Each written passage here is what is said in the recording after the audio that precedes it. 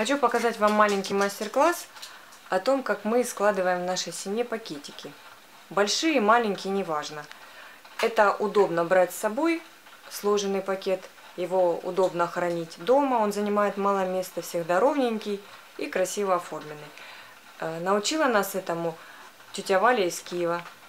Тетя Валя, вам привет! Покажу на вот таком пакете. Значит, что мы делаем?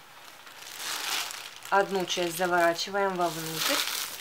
И вот эту оставшуюся часть тоже вовнутрь, чтобы оно ровненько легло.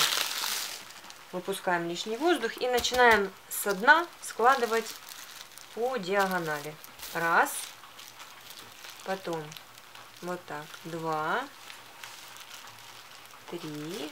Ну, э, количество оборотов зависит от размера вашего пакета. То есть до самого верха вот так. И вот эти ручки, которые у нас остались, они тоже могут быть разными. Сворачиваем вот так. И вот у нас получается вот здесь карманчик. И вот в этот карманчик мы аккуратненько засовываем наши края.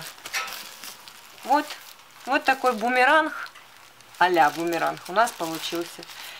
И когда у вас их много, этих пакетов, стопочка ровненько, занимает в ящике кухонного стола очень мало места, в дамскую сумку влазит, и удобно потом в магазине его достать, раскрыли и положили в свои покупки. Спасибо за внимание.